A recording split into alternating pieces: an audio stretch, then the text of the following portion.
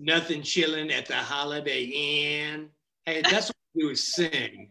That's what I'm gonna do. I'll just sing some Snoop Dogg lyrics. All right. Well, it, it looks like we are live now. Um, Uh, so, Uh, Kanye, I'm on. that's who you voted for. okay. Um, hi, everyone. Welcome uh, to our evening here with George Singleton and Ron Rash. Um, they'll be reading um, from and discussing their uh, new collections George Singleton's um, You Want More and Ron Rash's In the Valley. Um, we are uh, in partnership with uh, Nevermore Books in Beaufort, and Lori Anderson is here with us. You can get signed copies, uh, both of these, uh, from Nevermore Books. And now I'd like to introduce uh, our writers. Ron Rash is the author of the PEN/Faulkner finalist and New York Times bestselling novel Serena. In addition to the critically acclaimed novels The Risen, Above the Waterfall, The Cove, One Fit in Eden, Saints at the River, and The World Made Straight. Four collections of poems and six collections of stories, among, among them Burning Bright, which won the 2010 Frank O'Connor International Short Story Award. Nothing Gold Can Stay, a New York Times bestseller, and Chemistry and Other Stories, which was a finalist for the 2007 PEN/Faulkner Award. Also, twice the recipient of the O. Henry Prize and winner of the 2019 Sidney Lanier Prize for Southern Literature. He is the Parris Distinguished Professor in Appalachian Cultural Studies at Western Carolina University and lives in Clemson, South Carolina. Thank you, Ron. Thank you. And now, George Singleton has published eight collections of stories, two novels, and a book of writing advice. Over 200 of his stories have appeared in magazines such as The Atlantic Monthly, Harper's, Playboy, The Georgia Review, The Southern Review, The Cincinnati Review, and elsewhere. He is the recipient of a Pushcart Prize, a Guggenheim Fellowship, the Hillsdale Award for the Fellowship of Southern Writers, and the Corrington Award for Literary Excellence. He now lives in Spartanburg, South Carolina. Thank you, George. Thank you both for being here. Um, I will turn it over to you now. Um, I will let our audience know that throughout you can post your questions in the chat feature. Um, and George and Ron will both be taking questions um, when we near the end of our, our session. So I'll uh, turn it over to you and let you take it from here. All right, we're going to read first. and I am going to read from a story that came out about a, uh, I don't know, within the last year in a magazine, because to be quite honest, I'm a little bit tired of reading my own crap in that book, You Want More, because it's been getting old reading the same thing over and over. Ron and I have done a few of these things in Nashville, here in Beaufort, in Atlanta, I think, maybe Atlanta twice, I don't know.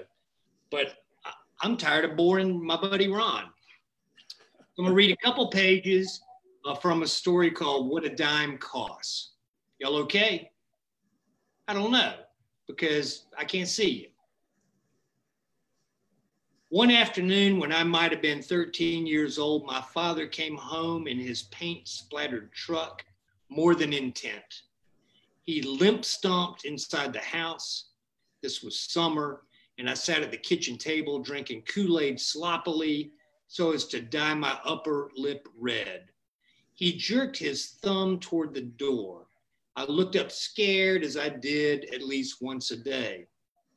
Did I forget to cut the grass, clean the gutters, wash yesterday's brushes, or let my mother pass out in the lounge chair she set up in the backyard on the edge of where she believed we needed a swimming pool? I should mention that my father was a house painter, and if he'd have lived in a time where every child got free psychological tests, he would have certainly been diagnosed, diagnosed with ADD, ADHD, all those others.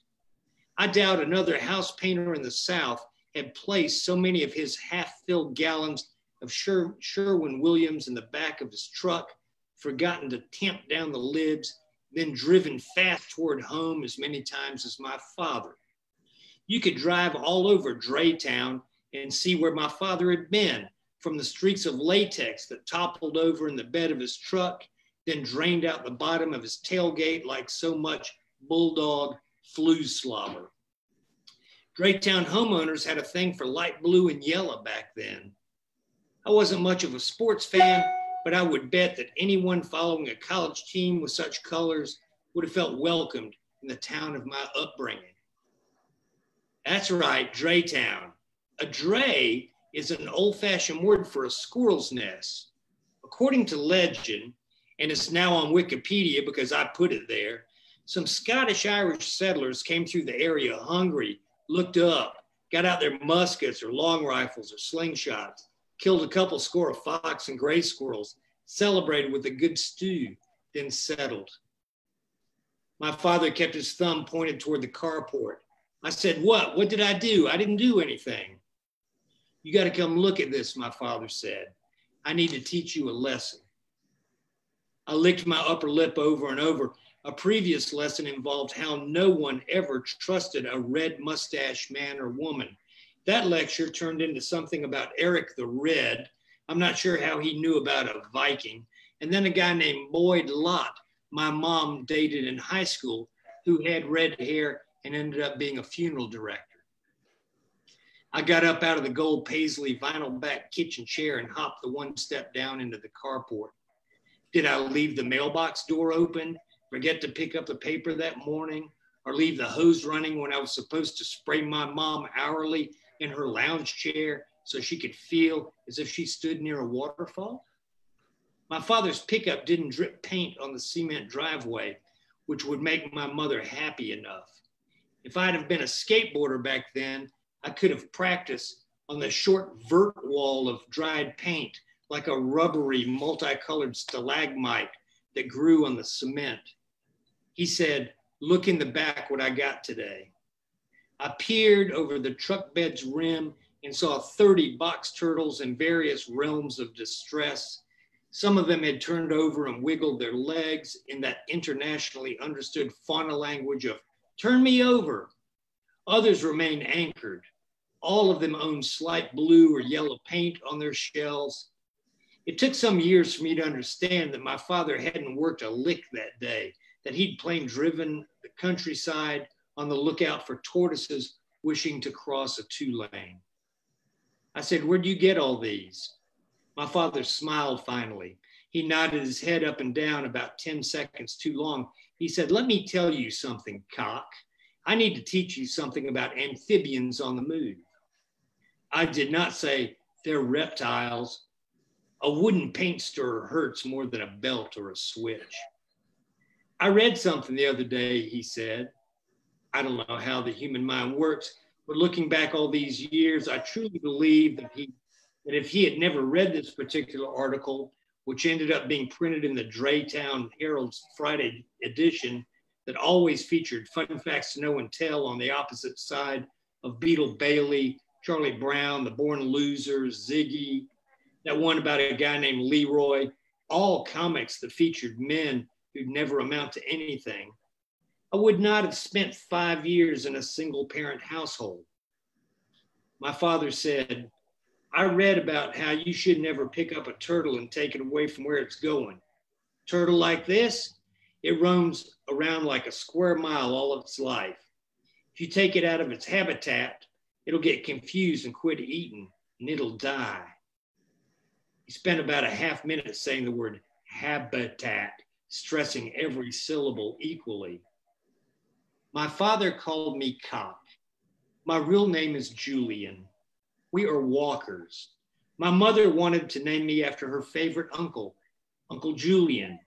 My father thought it sounded like a girl's name. I don't know what made him relent, but he always called me Cock. Cock Walker, Cock of the Walkers. I said, Are you going to take these things back to where you got them? How could he remember which were which and where he picked them up? I thought even then. My father shook his head. That's my lesson, cock. Life is not fair. I looked at the tortoises. I wasn't tall enough to reach over and down in order to flip the upside down ones. I said, You need to take them back. My mother came out wherever she'd been hiding. She yelled out, We're out of Dr. Pepper, God damn it, talking to my father. She yelled out, Did you remember to stop by the store? She said, You don't like the way I spend my days? I need some Dr. Pepper. My father didn't look her way. I did. She'd spread some kind of avocado spread on her face and wore thin cucumber slices plugged into her eye sockets. My father said to me, You either realize that you need to stay in the place where you were born, or you take the chance of dying out there elsewhere. He said, Yep, yep, yep. I said, Tonight's Hungarian goulash night because that's how we lived. That's the beginning of that story. All right. Well, I'm going to read uh, just a, the opening uh, to the novella In the Valley. And this is uh, where Serena Pemberton returns to North Carolina. When Serena Pemberton stepped out of the Commodore seaplane in July of 1931, a small but fervent contingent of reporters and photographers awaited her. Except for the pilot, she was alone. Those who would accompany her to the logging camp, both beast and human, had arrived by ship the night before. They were already on the train that would take them from Miami to North Carolina all except for her minion Galloway, who procured an automobile to drive Serena to the station. As the metal ramp was readied, Galloway positioned himself beside the bottom step. He was short and wiry, shabbily dressed, a purple stump protruding from one sleeve. As cameras flashed mere inches from his face, he did not blink. As Serena descended, the first question shouted at her addressed the rumors surrounding her husband's death. For a moment, it didn't appear she would answer. But when her booted feet settled securely on the ground, the question was asked again, but with a caveat that she loved her husband. I love my husband, but one always learns from disappointments. But what of his death, Mrs. Pemberton? And what of so many others of your acquaintance? The reporter asked. Logging is a dangerous business, she answered. Galloway was in front of her now, but Serena, almost a head taller, was clearly visible. He cleared a path as more questions came. Would she continue to fight against the national park? And would she address the rumor that she was connected to the recent demise of Horace Kephart, the park's chief advocate? Did she oppose the Davis Bacon Act? Why risk a transatlantic enterprise when she and her late husband had achieved so much in the States? Galloway opened the DeSoto's passenger door. Serena was about to get in when the sole woman in the group, reporter for the New Republic, stepped close. She was very young, but like Serena, tall and blonde. When will you have achieved all your ambitions, Mrs. Pemberton?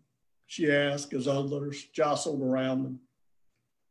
When the world and my will are one, Serena answered. And the woman, the young woman is uh, Martha Gellhorn, who was a really great World War II correspondent uh, and, a, and also a fiction writer. Uh, once married to, to Hemingway, but she was a pretty strong personality in her own right. How did you come across that? some of your did you know did you know that when you wrote Serena the novel? Um, I'd, I'd read about Gellhorn and read something a little bit, you know, not a lot, but wrote some of her essays or you know stories that she posted during World War II. Uh, but uh, you know, it just kind of I, I, thought it'd be interesting to have. I wanted somebody in that opening scene to uh, ask a question, and it just kind of came to me. I thought it'd be kind of fun. I think it's a lot of fun. Yeah. Yeah, I, I think that's one thing that you and I both know is that it's, it's a lot of fun sometimes just to, uh, I mean, you have to do something fun when you're writing as much as we've done over the decades that you just have to entertain yourself or little in jokes and, uh, which uh, we've tended to do. Uh, you know, uh, as I've said before, you got the advantage with my last name being Rash. That doesn't seem fair. But uh, yeah, just I, I, make fun of Singleton. He makes fun of Rash, and uh, yeah, just those little things that kind of you know, whether the reader catches them or not, always that's it's, it's just it's fun. Yeah. Listen, uh, this guy named Cock Walker. For a while, I was going to have his last name be Rash, but then I went, nah, I better not do that. It'd be too weird. well, hey, uh, you, you've done enough damage to. I think yeah, we need to quit. We yeah. said that before though, but yeah. we need to quit. All right. Uh, detente. yeah, detente, which is such a popular word uh, in 2020. Yeah. um, by the way, I'm so sorry that your man uh, lost the election for president. Um, so um, that's fun to tell people in a crowded place. Oh yeah, that, yeah, that's nice, George. Actually, I, I had a bumper sticker on the back of my car, Ralph Stanley for president. I, I don't, you know, the bluegrass musician. Ralph Stanley, yeah. I still think he might have been a better choice than we've, you know, what we've had recently. So. I do too. Hey, uh, uh, talk about. Uh, I guess I'm asking you questions. What the hell? Um, you know, short stories. Goddamn, how come no one's? By, we should ask Brooke this. Brooke, Brooke McKinney. They're not selling in America. What's the story? Come on, America. You know, I understand poetry not selling, kind of, but gee whiz, you know, come on. you love, you'd rather you'd rather write short stories, right? Yeah. Yeah, and I think you would too. Uh, yeah. And you would think with the way life is now, it tends to be fragmented. I think attention spans are suffering some from technology. I, I mean, I sense that even in myself. Yeah, short stories would be perfect. Uh, and I, I don't know, you know, you, you, you publish more than I do. And I mean, are you getting a sense so that the journals that people are reading them there and that they, they don't want to buy a book necessarily that they, because they. Yeah, I don't, I don't know. You know, since this pandemic, I've written, I've actually written a lot and I've sent it out and I've heard from no one. I don't know if the magazines are kind of shut down. I assume they are, you know, yeah. I, I don't know. Uh, but you know. And I would think, you know, one thing that you do uh, interesting in that excerpt you just did.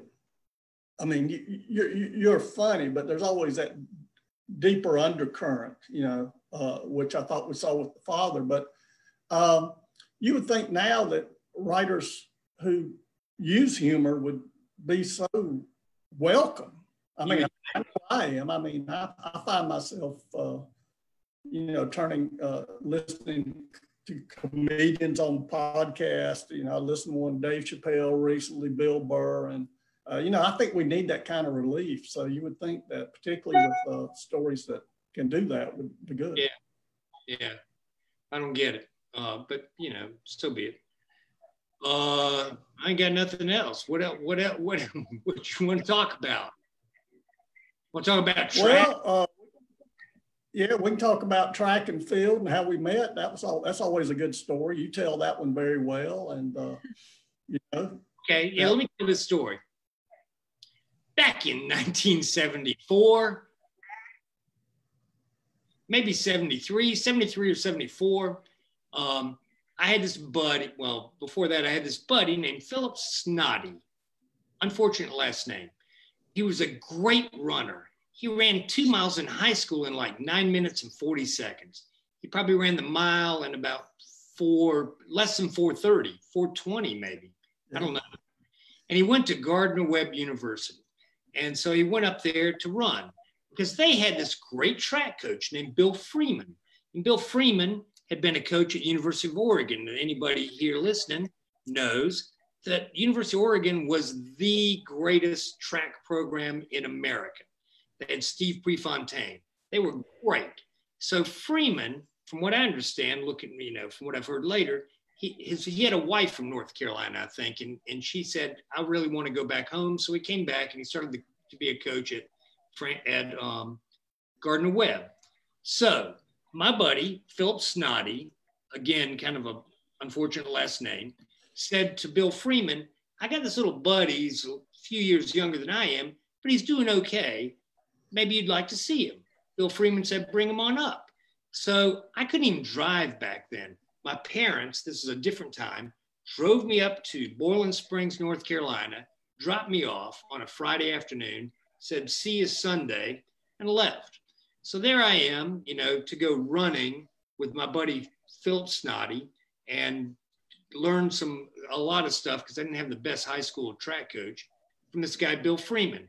And who should be there but, but Ron Rash, also running track, also flying like a 152, something like that, half mile, not 800 meters, half mile. Tell me the exact time. Oh, 153, yeah. you, you get okay, never mind. I didn't know that you were like dragging a leg. Okay, 153 half mile.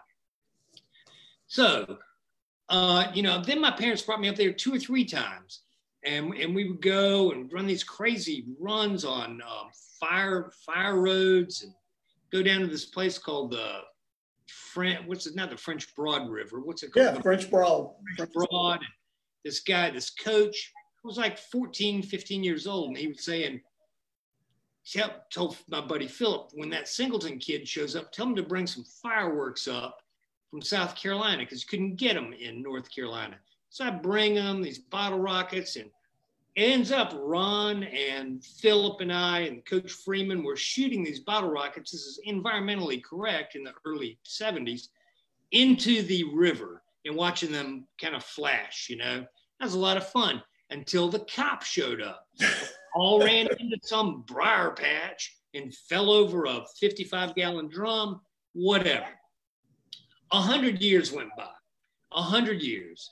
I quit running. I got kind of hurt. I really hurt my, um, I forget what that thing is It goes across here. Um, I always forget that word. Oblique. I really ruined an oblique. And I went to Furman, thus the FU, uh, to run track. But then my senior year, I just really petered out, but I still went to Furman. Um, no matter what. A hundred years after that, I was teaching at this place called Francis Marion, and here comes this guy named Ron Rash to see, I believe, his brother Tom Rash give a paper for some Christianity and literature conference. And because of Christianity and literature, of course, I was at the forefront of this obligation. So I go and I meet, see somebody introduced me to Ron Rash. I said, Ron Rash, that sounds familiar, familiar, familiar. And he said, George Singleton, that sounds familiar too. Hey, are you Philip Snoddy's little buddy? Because I was like five foot two and 100 pounds back then. And then, maybe two years later, I moved up to Dacusville. Ron lived in uh, P- Pendleton, excuse me. And and boy, I mean, who would think that we would both be writers, both be trying to write, especially back then in 1992, both of us just kind of struggling. Oh, I sent off something. Uh, ooh, I got a nice rejection. I mean, it's just a weird, it's a weird small world, you know. Yeah. Uh, no, it was amazing. And uh, then George became part of my family with my children. And, you know, he was always the, the, the sketchy uncle that they loved being. you know, I'd be, he'd be trying to sneak them a cigarette, you know, when they're eight years old and uh, uh, teaching them new, teaching them new words. I would teach him new words and maybe it was a beer. I don't think I would uh, offer him a cigarette. but I know they stick me a bunch. Yeah. George, do you smoke? Uh, do you, Brooke? I do have some questions for you. No, say say you don't smoke, so I can say good, more for me. I don't. Good, more for me.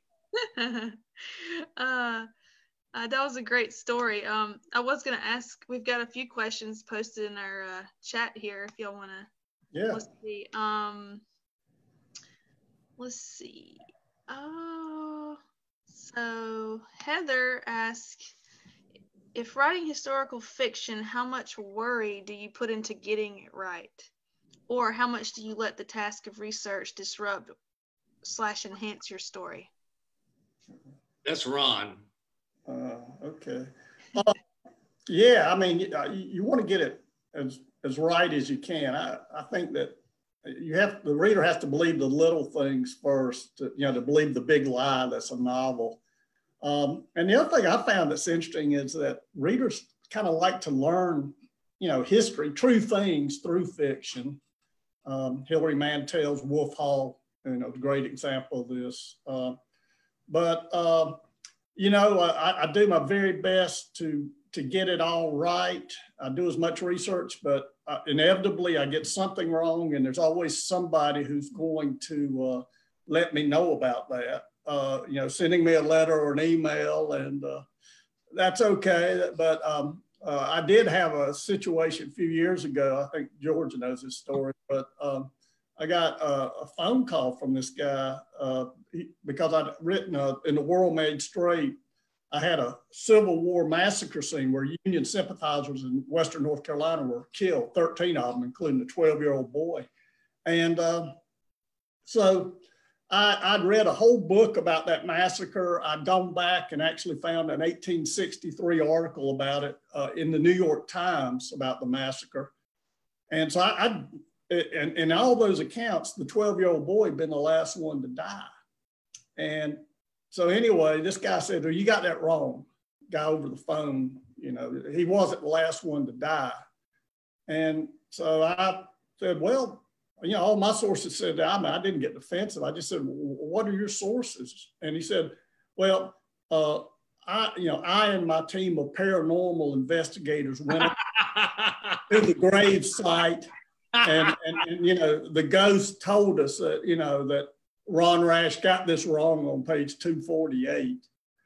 So uh, yeah, that, that, those things will bring out the crazy sometimes, uh, and and that's kind of strange the kind of responses you sometimes get. I'm sure you got stories about that too, George. Uh, email never, people. Never, never, never. You also had a story about a. Didn't you? I don't know if we. God, I hope she's not. Didn't you have a story about some a woman named Serena who contacted you? yeah. you ruined her life or yeah. like that. Yeah, yeah, that yeah, that was I don't know. I'm a freak magnet. I mean, they come my way. I had a story one time. I think it's in the it's in this book about a and a, it, the, there was one sentence that said she was beautiful but she was crazy, and this woman showed up out of nowhere. Glenda and I were just standing there. We were, we were working on a house. We were building this cabin. You've been there. We've been fishing there. Yeah. Camp Skyuka. Had a hammer in my hand, and this woman showed up and she said, You have written about me, and it has upset me and my husband. And she went on and on, and I had this framing hammer in my hand. I went, Get off my property like that. She took off running. But golly, I mean, you can't win. Yeah. All right, next question, Brooke. All right, let's see. Um, can either one of you talk about character development? Uh, do Go ahead. You, do you Go ahead, George. Keep asking that question, Brooke. Do you, uh, you live with the characters uh, you create either vicariously or as the work progresses? That's a good question. Uh, boy, you know, um, Ron and I have talked about this a little bit. Like, uh, um, he kind of sees an image and starts from that, and I kind of hear a voice and start from that. Uh, you know, I'll hear, I'll just a line will hit my head, and and I'll go from there, and and then it just progresses. I don't know. Um, normally, I kind of write from a. Um, I mean, I've, lately, especially, I've tried to write about more um, female main characters, but but I'm almost scared to do that because I'm scared I'm going to just do it wrong. I don't want to let female. I don't want to let women down. You know, golly, I wouldn't. I would never think of that. Whatever. A man, you can write. You know, from a male point of view, you can just write. Get as long as the guy's just kind of a jerk, you got it right. So um, just kind of let it go and see where see where it you know see where the see where that path goes. You never know. For me, for me. Yeah, for me, it's just. Uh, I mean, it's it's almost you're, you're you're essentially living with these characters. So it's like living with real people. You, they start to reveal more about themselves. I find, and uh, it's very often it's when I lock into a voice that I feel like I've really got the character down. Uh, but it is a, uh, it's it's I think it's a lot like method acting. You just in a sense try to uh, enter that sensibility uh, and uh, and and and actually Denzel Washington once said somebody asked him about what's the key to, to being really successful at, at acting and he says you don't get in the way of the character and I think uh, what I want to do, and I think you know, we what we all both want to do is be as true to that character as we can. So we kind of, I actually, I, I would argue that even if you don't believe about free will for humans, you should believe it for your characters. You know, wow, that's nice. You yeah. into that direction. Yeah, that's and you know that's golly, that's a great, great line. Yeah, we may not have we as humans may not believe in free will, but by golly, those characters are going to do what they want to do, whether you like, whether you as a writer like it or not, you know, and see where that happens. That's good answers. Um, okay, let's see. Um, um, this is for both George and Ron. Which story was the most fun to write? Uh, you know, for me, I wrote a story called Show and Tell in about 1999. And it was a different kind of story. For me, it was a first person retrospective. It was about a guy, kind of like that story that I read tonight. It's about a guy looking back at his life when he kind of had a questionable, unpredictable, unreliable father. And the the narrator, although an adult, goes, "Oh, you know, here's here's what might be wrong with me now," or "Now this makes some sense." I Ryan and I had a buddy named Dale Ray Phillips wrote a book called My People's Waltz, which a bunch of them are stories of first person retrospective looking back. And I'm a slow learner, so I didn't write one of those up until this point when I was a write when I was a writer today, I would even say writer. Um, back th- before then, I would go, okay, I'm 32 years old. I'm going to write a story about a 32 year old guy. I'm 34 years old, 34 year old main character. But when I learned from from that, and also from reading a guy named Lewis Nordan, who wrote Music of the Swamp and Wolf Whistle, um, I went, God, that's kind of fun to because you get to use your adult language in telling the story, and then you know the um, the the dialogue might have to be more like a 12 year old talking, but you know. So when I first learned that and started doing okay with those kinds of stories, that, that was my first time of really kind of having fun. And since then, I've written a bunch of those kind of stories. Well, I think the fun part is when when you suddenly realize what you know uh, you, you, know you've got it. It just kind of locks in. Uh, probably the story I, I feel like maybe is one I'm proudest of is called The Ascent. It's a story about a 12 uh, year old boy, or not even 12, I think he's eight, who uh, comes across a uh, plane crash, a small plane crash in the uh, Smoky Mountains. And I, I've been trying to write that story probably for about four or five years because I'd actually read where uh, a, bear hunter had found a plane like that that had been lost for several years. And uh, I knew there was a story there, but then just one morning I had an image of a, a child's footprints and, and a sense of the child coming up to that plane. And the moment I knew, I, I really felt like the story kind of locked in was when he looked into the plane and he wasn't frightened by what he saw. And then, you know, I really started to realize why he wasn't frightened and all of it came. But um, a story I just had maybe just pure fun, just writing start to finish was one called Waiting for the End of the World, where a guy has to play a free bird every hour at a bar. And that was, that was one of those kind of just voice driven stories. And uh, that was kind of fun. You know, um, I'm going to interrupt a little bit. Today, Glenda and I were driving to the bank and to the post office because we don't get out of the car, don't leave that often. I don't know what brought it up, but I started, I said to her, Ron Rash and I both, prob- I assume you, my parents were not, were like lower middle class, but my father thought it necessary to have this big old Cadillac. Mm-hmm. I mean, like a, like at a funeral Cadillac. And when I took my, um, Glenn and I were talking about driver's test. I guess we drove by the DMV. And I said, when I took the DMV test, oh no, we were driving past a student driver thing.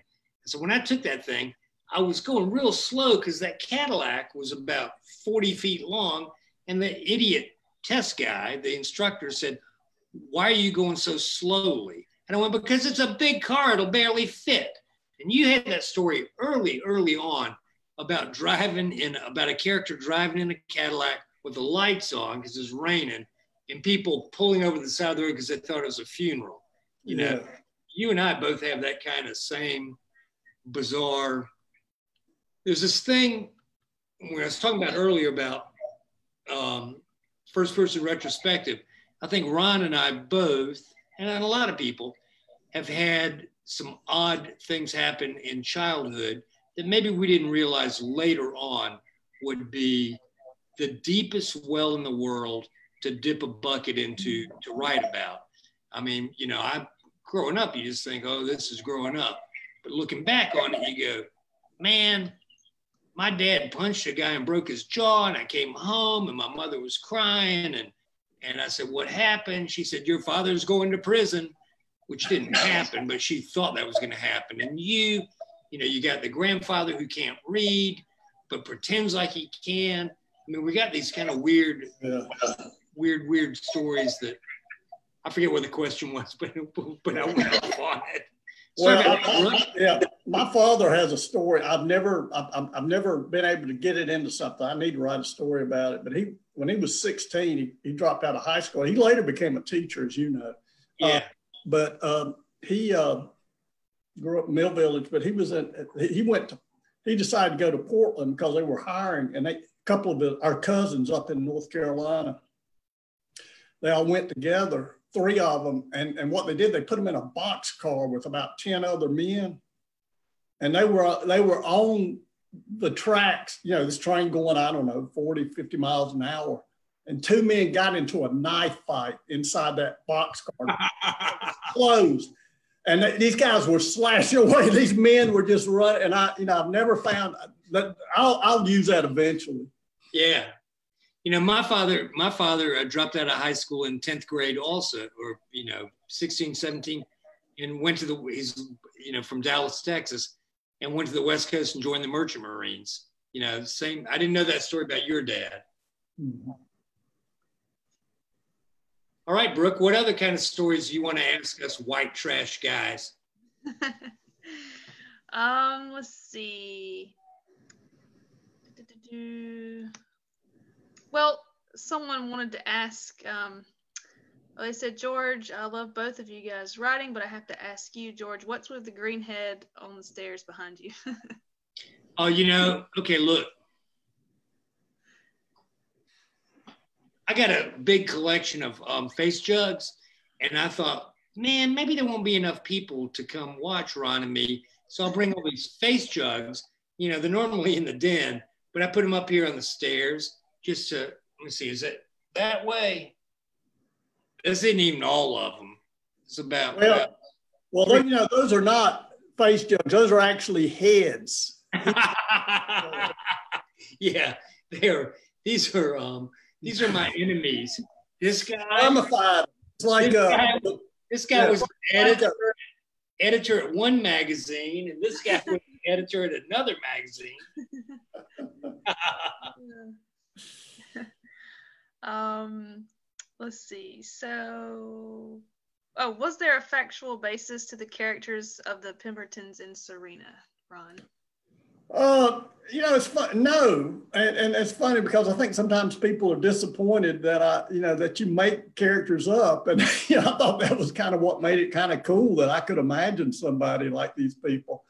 Um, but I, I, did know that there were timber barons, and I'd read up a good bit about that. So they, yeah, I mean, I did know that uh, how they ran their operations. Um, a lot of them did come from uh, uh, the Northeast, and they would buy up the acreage. So, but yeah, you know, um, I, that story, uh, I don't know. I, and it, I, I'd be interested in hearing George talk about this because I've been thinking about this more and more.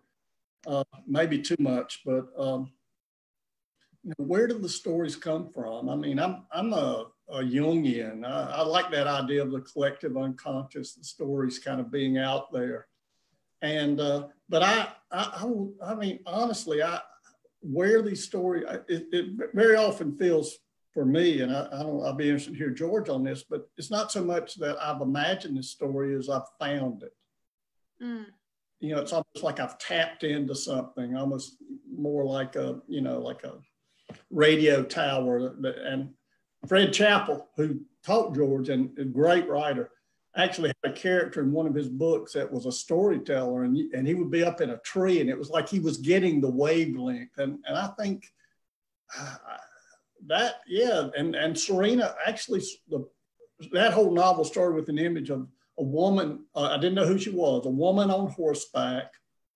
Um, the sun was coming up behind her. It's almost like a crown on her head. She looked like uh, something and, and very strong. And I knew someone was looking at her with love and fear. And I mean, that's all I had when I started that book. But uh, what about that, George? I mean, do you, how, how much of that is subconscious or, or mysterious to you? Well, I, you know, you're way beyond me. I don't know yeah, I think it's mysterious. Um, I assumed. Well, I'm glad you you said that about the timber barons. I mean, but but boy, out of just that that line of, oh, there are timber barons in North Carolina back then, and then you get all of that out of that. I mean, that's kind of pretty amazing. Not kind of. That's pretty amazing. Not even. That is amazing. Um, you know, I don't know. You know, I, I just don't know. Yeah. Well, I mean, I don't want to get, you know, start getting like those uh, guys that were finding out about my uh, getting that detail wrong in the world made straight with their Ghostbusters. But it is, I mean, it's just, uh, I'm kind of, there's a great story about Theodore Roethke, a poet I really admired. He said that every time he got a poem, he would get down on his hands and knees and you know, just thank wherever it came from, you know. Yeah. Yeah. But it's, it's, like, it's an interesting question. Yeah. It's like Randall Jarrell said, the um sorry, I got gnats in this house. Um, where'd they go? I mean, they're everywhere. Um, uh, you know, Randall Jarrell said the chances of writing a great poem are the same as sitting in a lounge chair in your front yard and having a meteor fall in your lap. And that's kind of how it feels like when you when you can't well a lot of times, I don't know about you, but I'll write a story and go, boy, a meteor fell in my lap. Yeah. And you go, well, boy, that didn't work out, you know, after you send it off. And then sometimes you finish a story and go, uh, I don't know, you send it off and go, boom. And you didn't know that a meteor fell in your lap. You know? um, all great things happen, and, and you say, thank you. Thank you to whatever uh, archetypes that Jung, that Carl Gustav Jung talked about. I'll try to get this back to Carl Gustav Jung. You did. And the shadow. Yeah.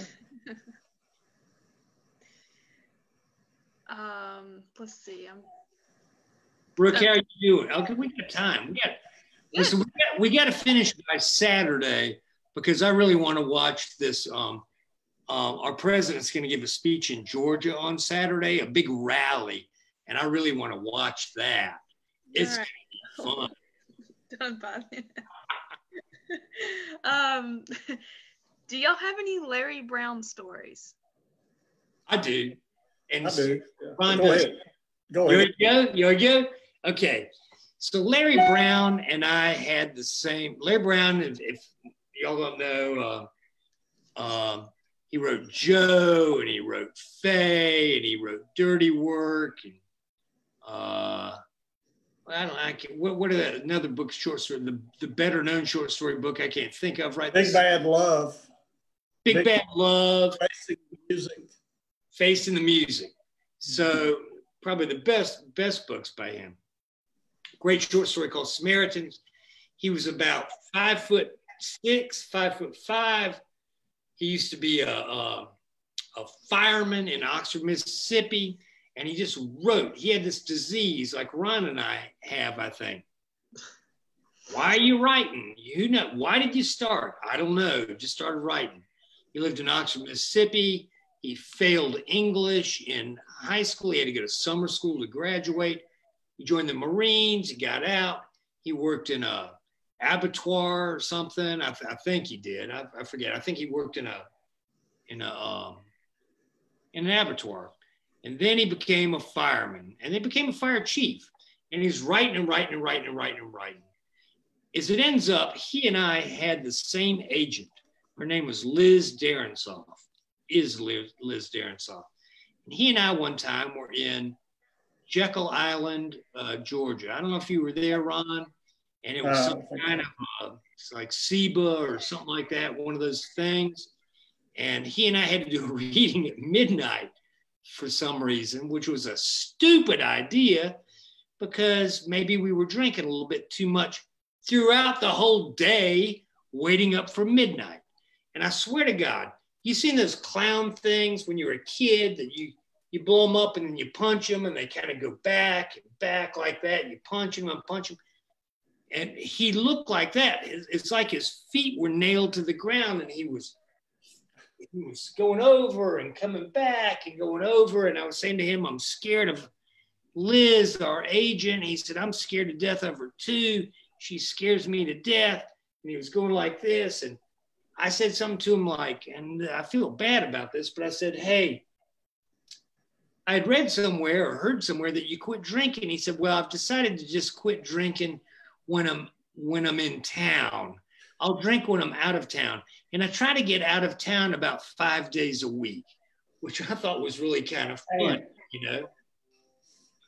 And then later, one time, he died on um, he died on November 24th of 2004, right before Thanksgiving.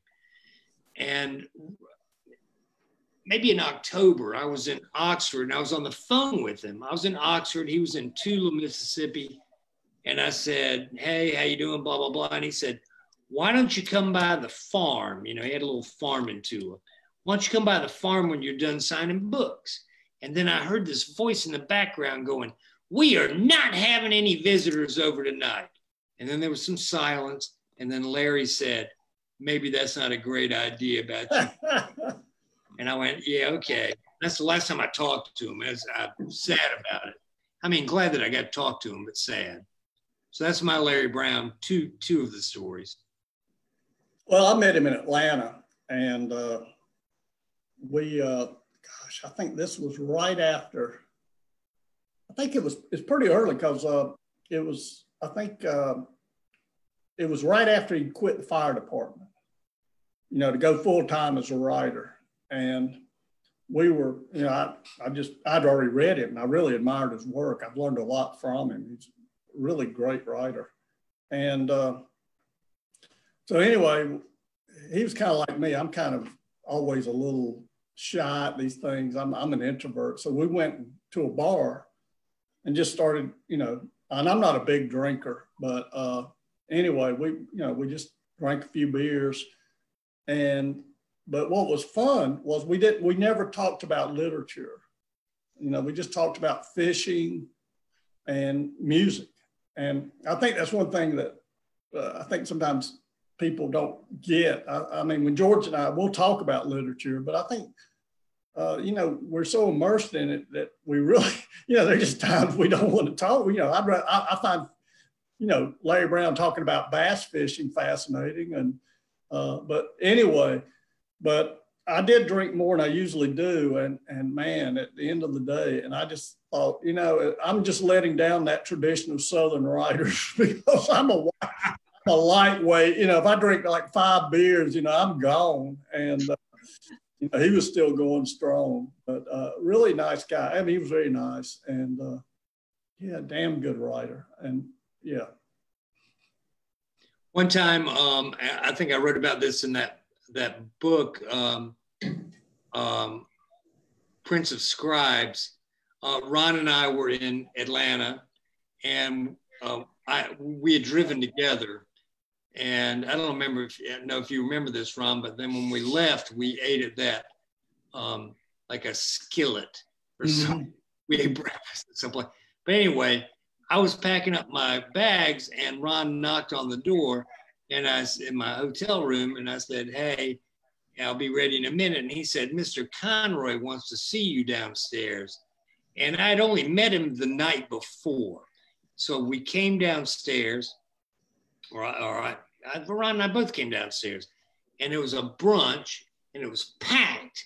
And there was uh, Mr. Conroy, and there was Cassandra, his wife, and I had had an article, uh, a review in the Atlanta Journal Constitution that that day, that Sunday, and he had it. Mr. Conroy did, and he was shaking it real hard, and he went, "Mr. Big, Mr. Big," and I went, "Hey, Mr. Conroy," and he said, "I swear." Yesterday you were shit on my shoe, and tomorrow you're going to be shit on my shoe, but today you are Mr. Big. And he was laughing real hard. I mean, he was kidding around with me. His wife, Cassandra, was going like, Pat, Pat, like that. And, and we had a good old time. There's a whole bunch of kind of weird writer's story. Okay, what are you looking at there, Brooke? Oh. Is Cassandra on here? I don't think so. I don't know. I was just reading something else that popped up. yeah, I do remember that. Yeah, and uh, and maybe I mean that's a good thing. I, we haven't talked about Pat, but uh, damn, he was so great. I mean, great hearted. I, I don't use that term a lot, but he really had that. And he uh, was one of those writers that was a cheerleader for for beginning writers. I mean, you know, you don't I don't think you see that a whole ton. Actually, I think Ron, you and I, I think, I mean, I don't want to pat ourselves on the back, but boy, when somebody goes, I got a first book coming out, will you do a blurb? Yes, you know, I mean, you and I both do that, I think. And I think he did that. Yeah. Oh, now I know who to ask. Both of you. Yeah. Oh, yeah. Well, send him. Now, George is the one that wants most of them. got one. Got one. Got one yesterday and started it this morning. Yeah, but no, I, I think no. Pat was great, and uh, man, uh, you know what I missed most was the late night phone calls. You know, he would call late and uh, oh man, you know, and and it'd just be that, you know, booming voice about, you know, I'm the only one that can keep this faltering friendship from, you know, what and you know, he was uh no, he uh, I miss him and Cassandra's a wonderful person, wonderful writer. And uh, I, I'm just so glad that the uh we have the literary center now. I think uh it, it's great that we can honor a writer like you know such as Pat I, because I know actually I, I, did an event with him in Highlands, North Carolina, and a, young woman came in in the room. She had a quote from uh, Prince of Tides uh, tattooed onto her arm, and I thought, wow, you know, I've never gotten that.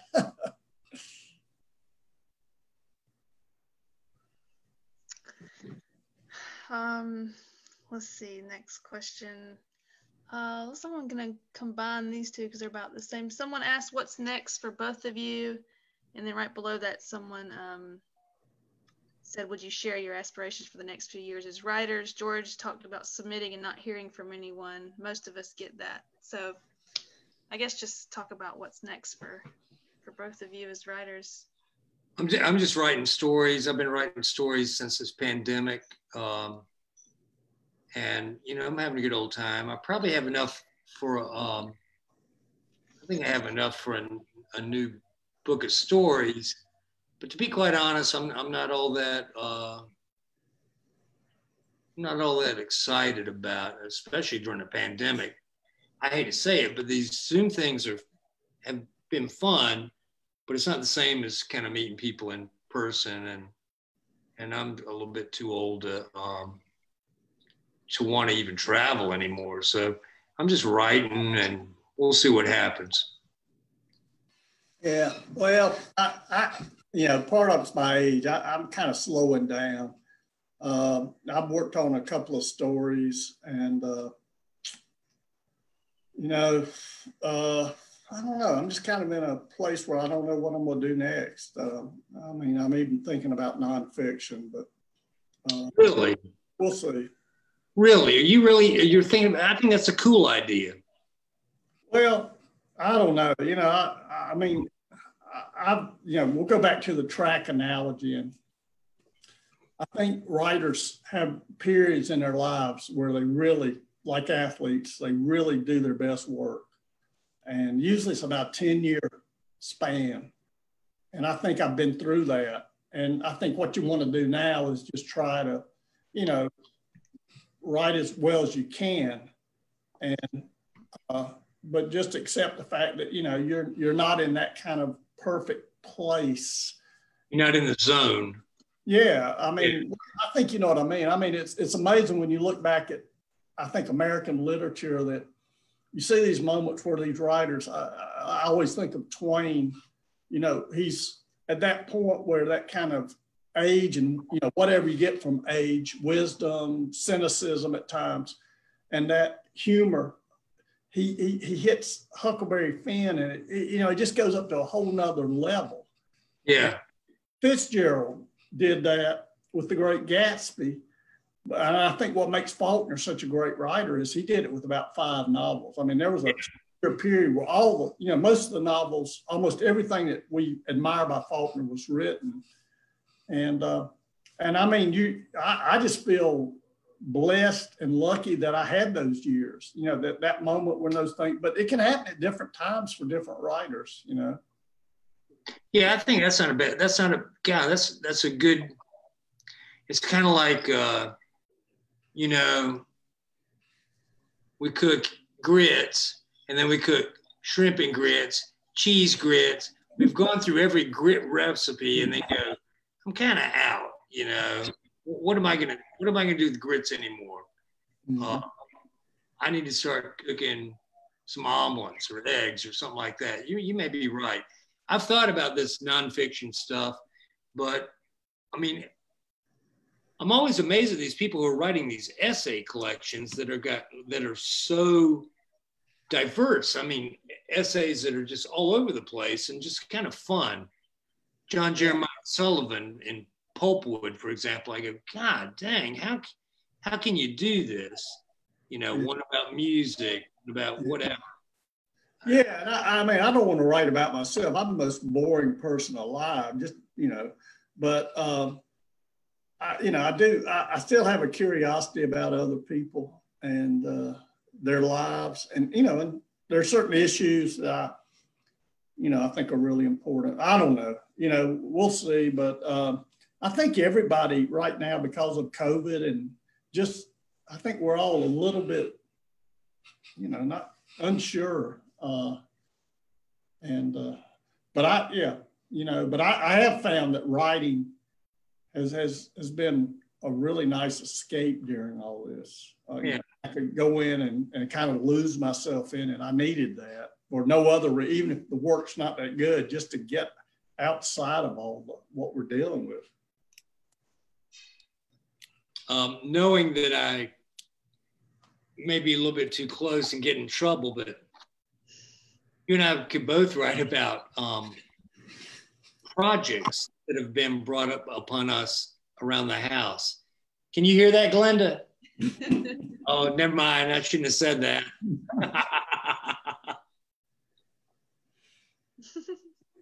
it gives us an excuse, right?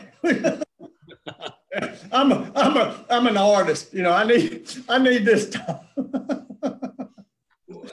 oh man, we'll, we'll all, we'll all sieve it in there. It'll be okay. Yeah, well, well, you know, it's interesting. Uh, we've been talking about writers. Uh, somebody, I just saw a question flash about some of the writers that we've been reading lately, and um, you know, I, actually, I've been rereading Faulkner with great, I mean, even greater appreciation. I don't know how he did that. Yeah, I don't know either. I, I mean that that those novels that he wrote from like 28 to about 36, you know, Absalom, Absalom, Sound of Fury as I lay dying, just incredible. Uh, even the bad, even the I guess what are considered bad ones like Sanctuary. Yeah, a little bit, a little bit of a kind of a I mean, the most bizarre genre piece, but I, I it's it's it's amazing. And they're all amazing. Yeah. And I think one thing that's interesting to me, I was actually talking to our friend Steve Yarbrough about this. Uh, you know, you spent we spent our lives pretty much, you know, not all our lives, but a good part of our lives really dedicated to writing and really trying to do it as well as we can and reading. And I'm, we're both intense readers. And I, I think when you get to our age and you, you can look back and read these writers the way you might not have when you were 20 or 21, you just realize how great they are. Uh, yeah. I mean, uh, you know, the other writer that does this for me is Thomas Hardy. He's a writer I really did not want to read when I was like 20 or 21. But boy, now, but yeah, Faulkner, I, I think I can read him on a level I, I, well, I know I can that I wouldn't have when I was 20. Yeah, uh, for me, it's uh, um, Joseph Conrad. I, I hated when I was 22, and now I go, man, you know, that's pretty. Heart of Darkness is, is pretty friggin' amazing. You with the novella uh, in this new book, I mean, golly, I mean, he pulled that off. I don't know if I don't know if Heart of Darkness would be called a novella. I, I would call it that. Yeah, now, I would. You know, yeah, and that's a tough form. I mean, you know, one one thing I, I never written a novella, so in, in the valley, I mean, it was really a challenge to write, try to write one. Mm-hmm. You know, we both love Train Dreams by Denis Johnson. And, yeah. You know, Annie Proulx has written some longer stories, such as Brokeback Mountain, which are really kind of just teetering between novella and short stories. But yeah, I mean, it's uh, it's a great form, and uh, yeah. And hard in America right now. I mean, yeah. You yeah, and I, I would I, I do want to tell a, a, quick story on Conroy. Uh, we were doing an event in Highlands, and you know he, he was so sharp, so quick that he would just nail you. But we were doing a question and answer, and all the questions were for him, of course. But uh, woman said, you know, I, I wish you know, when I read you, I just don't want the books to never end. And uh, I was up there with him and I said, uh, well, you picked the right writer. and, and, and, you know, for the one time in my life, you know, Conroy was speechless. funny, funny. And true. Brooke? Yeah, I guess that was the Ron, you saw that question um, to talk about your favorite writers, so that was your answers uh, there. Um, Where y'all seeing these questions? I don't see any questions. We're keeping them from you, George.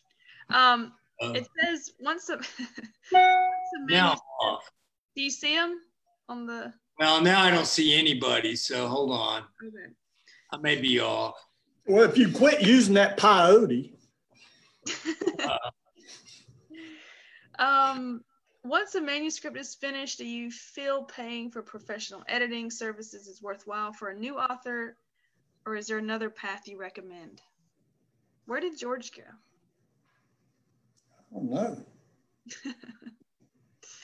um, he accidentally dropped out, but oh, okay. I don't know. He'll come back. I'm sure. Yeah. Well, I don't know. You know, uh, things have changed so much since I broke in as far as self-publishing and um, you know questions like that. I do know that I will say this that I've been very lucky in that I've had editors who made my books better. Uh, I'm back, baby. I'm back. Yeah.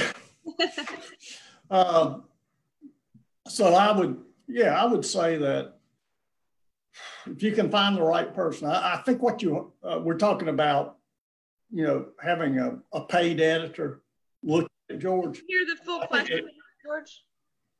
Yeah. Oh, hold on. Can y'all hear me? Yeah. yeah.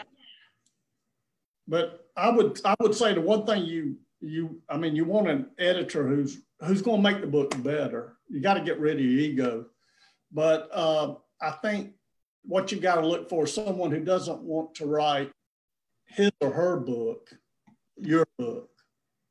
you know, I think sometimes one of the risks is that someone will, you know, kind of read a read a book and they're using what they want the book to be. And I mean, sometimes that may be better, but at the same time, I think uh, the, the, the best editors are, have this great gift for uh, the ability to understand what the, you know, the writer's trying to do, you know, and help the writer better get that. George? Well, I, sorry, but I tried to figure out who's, who's asking questions and I screwed up and got turned off. But about editors, um, you know, an editor at a book or a magazine, I think is uh, usually, it's not like that editor is trying to make you worse. They want the best for their book or mag. I mean, it's not like they want to put out something bad. Now, there are some editors, we can think about people like uh, Raymond Carver's editor or Barry Hannah's, Hannah's editor, who happened to be Gordon Lish. Yeah. I think Lish made those books a little bit different. I think those books are great. I mean, I think Hannah and and Carver way different uh, writers, but I think that's good. I wouldn't pay. Was there a question here about? Yeah, about paying paying somebody. I'm not sure I would do that, but I mean, I wouldn't pay. I mean, I could go online and say, "Hey, buddy, I'll pay you pay me some money, I'll edit your book. I'm not sure you'd want me to do that, you know, but, but maybe, uh, you know, but I'd, well, first of all, I wouldn't do it, but um, is, is that kind of the question and kind of the answer? Yeah.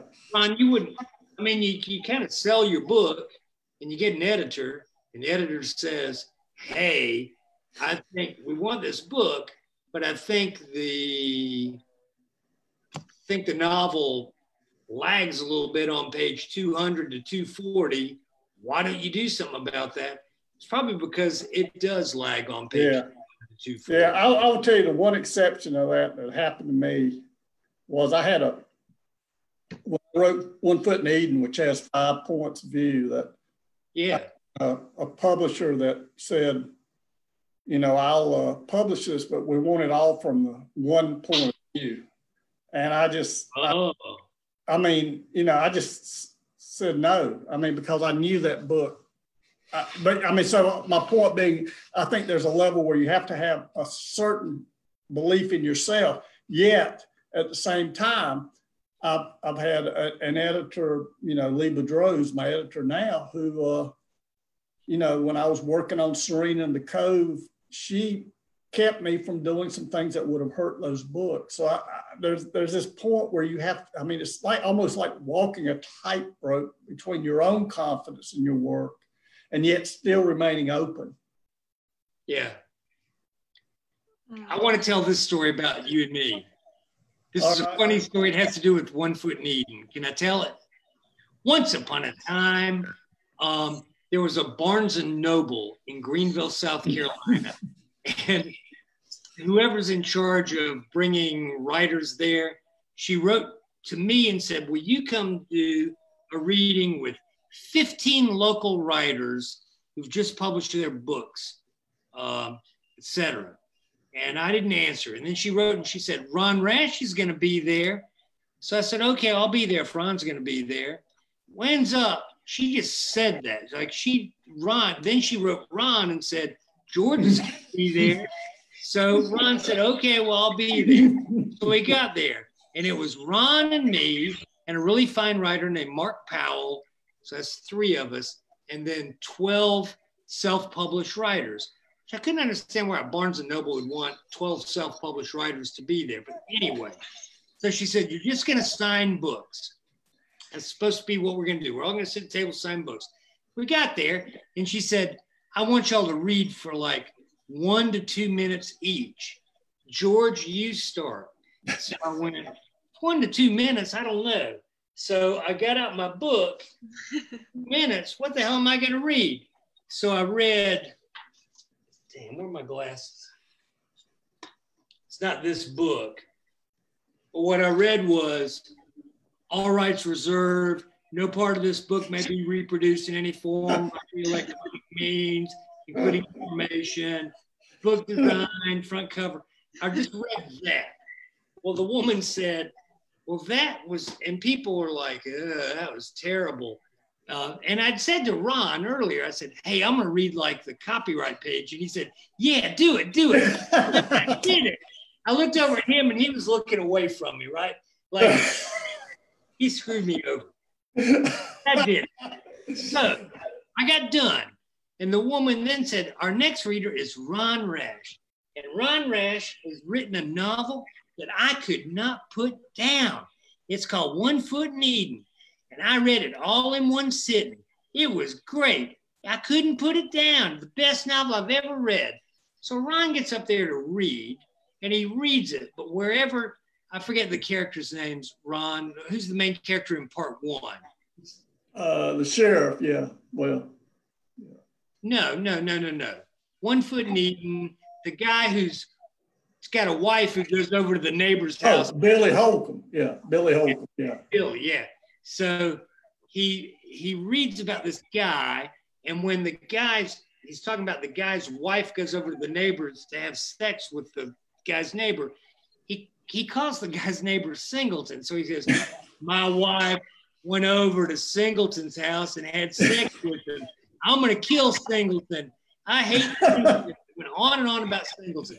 And when he got done, this woman from Barnes Noble got up to the microphone and said, Did you really use George Singleton's name thing? And Ron and I both yelled out, I thought you read that novel sitting. You couldn't put it down, all that. And she just went, Our next reader is going to. So when it was done, we were all supposed to sign books, and I just left. I went next door to, uh, there was like some Mexican. Yeah something. Yeah. You were deep into the Tecate, as I remember. Yeah, I started drinking some like tequila or something like that. And then about a half hour went by, and Ron came over and he said, that woman's looking for you. She thinks you're hiding from her in the books, in the stacks of books. Remember that? Yeah. It was fun. oh, we're bad boys. That was the old days. Now we're normal, especially me. Oh yeah. All right, Brooke, how you doing? I'm doing great. Yeah. Um, I guess we're we're here at the end, so I hate to say because I uh, having so much fun listening to you tell stories. Um, I guess can we, gonna... can we tell people to go buy our books? Absolutely. Absolutely. Tell them. Yeah. I was going to remind them that yes, um, Lori can help uh, with that. At Nevermore Books, you can get signed copies. Um, uh, yeah, so, but yeah, George, Ron, go ahead if you want to say it for yourself. Well, I, I mean, we're, we're, at the point now where you know the bank is getting ready to foreclose on our loans, and we may be homeless. So, you know, any any book sale is is is very much appreciated unless you want to come hear our next reading from under a bridge. I, I have to I have to go get the car and drive down to the soup kitchen in a minute. I wish y'all'd hurry up and buy some books. Yeah, uh, you know, at least give me enough money to get, you know, buy a sleeping bag because it's pretty cold out there under that bridge, Broad French Broad River Bridge. Yeah fish aren't biting. So I may need to get a, you know, some pork rinds or Cheetos uh, from you know, about five miles and get something to eat. So uh, anyway, yeah, if you will do this public service and buy our book, you may prevent this. And you will not have to look back on your lives 10 years from now and ask, what happened to Singleton and Rice? and do know, and do know we appreciate it, y'all. Yeah, we yes. Really, these are both great, great, and um, I thank y'all so much for doing this. I'm glad to do it. Yeah, it's been great, and um, thank you everyone for uh, joining us this evening. Um, again, Nevermore Books. Um, if you'd like, uh, they have signed copies in stock, and um, yeah. So, uh, Ron, George, keep writing so we can keep reading, and um, hopefully one day I'll uh, get to see you guys in person and I can get these signed. Good deal, bro. Well, I hope we could do some, uh, George, I, I mean, it'd be great for us to do something at the Conroy Center. So maybe, once the COVID lifts, we could do that. 2023, baby. Yeah, All right. Well, thank y'all so much. well, thank you. Bye. Bye, Jonathan, too. Yeah, John, Bye, Bye. y'all. Bye, Ron. bye.